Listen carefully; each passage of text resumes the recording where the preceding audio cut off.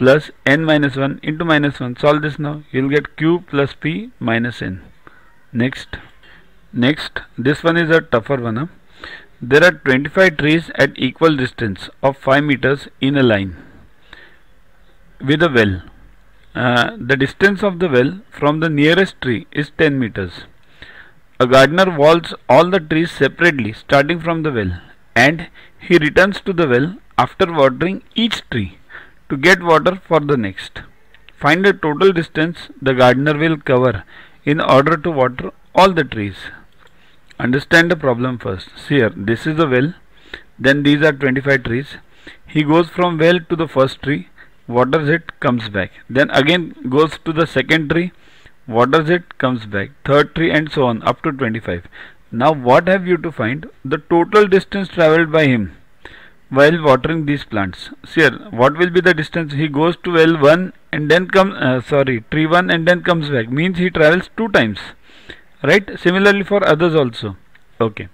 Now under, uh, remember this logic. Now we'll move ahead. So what we want sn. Sn means sum of all these aps this is basically ap because 1, 2, 3. So the sum is what? n upon 2 into 2a plus n minus 1 into d where a equals to 10. Why 10? Because here first distance is 10 and remaining are at a distance of 5 each. Right? So d equals to 5 but a equals to 10. So a equals to 10, d equals to 5, n equals to 25. Now solve this.